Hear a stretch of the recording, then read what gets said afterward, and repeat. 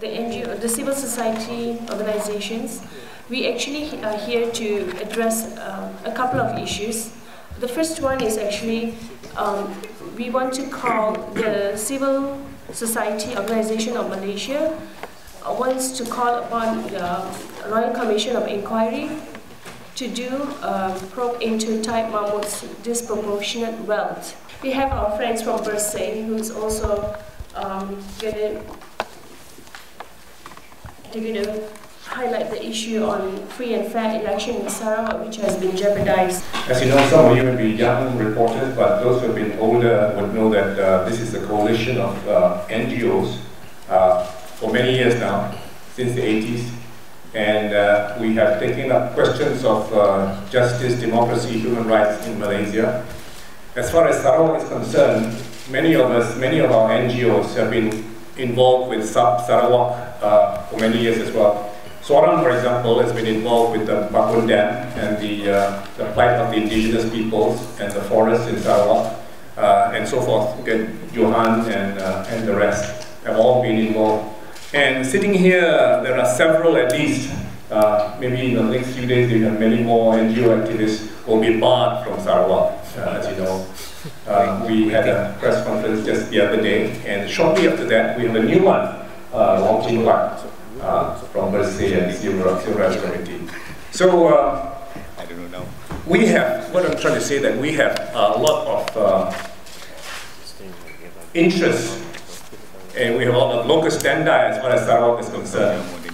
And what is of interest today in the Sarawak state elections is the question of Taib Mahmud, who has been the chief minister of Sarawak for close to 30 years now, and who has become the single biggest liability in the Sarawak state elections. I say the single largest liability because even the Barisan Nasional recognizes that. What we are here today, the coalition of NGOs, is to call for a royal commission of inquiry on all the fabulous wealth of Taib Mahmud, who has accumulated so much wealth that is, is, is, is uh, tipped to be one of the richest people in the world, while the state of Sarawak, uh, despite its huge uh, wealth in resources and human resources, is one of the poorest as far as income levels is concerned. So what we're calling for is a Royal Commission of Inquiry, because initially we wanted to ask the MACC to investigate his fabulous wealth, but we've lost, uh, I think the MACC has lost credibility the second death uh, under its custody. And so we think that since the Malaysian government is so much into uh, Royal Commission of Inquiry, they are prepared to set a Royal Commission of Inquiry over a sex video, which, I, which we think is a very elementary police kind of uh, investigation. You can find out who is involved in the sex act. You don't need a Royal Commission of Inquiry. But a Royal Commission of Inquiry is of vital importance in finding out for Malaysian taxpayers and the Sarawak people how the wealth of Sarawak has gone to this man and his family. And we made the, the work for the Royal Commission of Inquiry is made easy because Taib Mahmud's assets have been uh, tabulated, accumulated, and in this uh, in this uh, statement by the NGOs, uh, all the companies are all there, and uh, the way in which Taib's and his family are connected with his companies are there.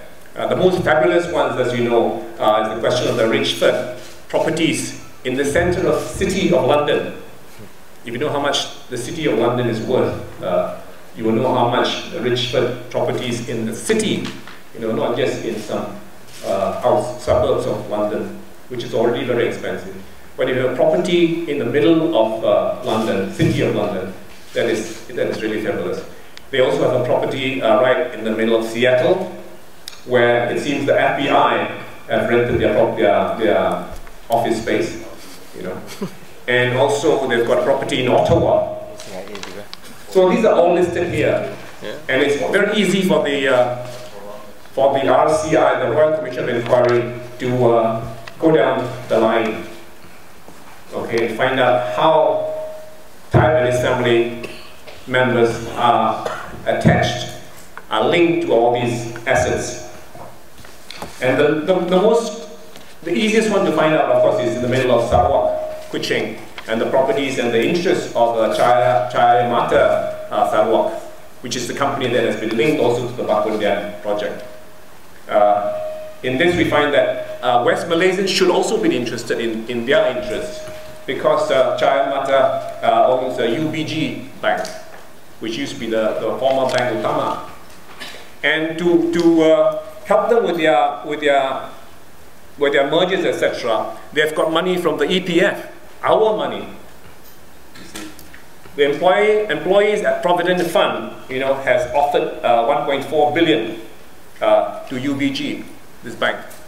So our money is being used uh, to help out the bank in Sarawak that has interest with Taib Mahmud's family.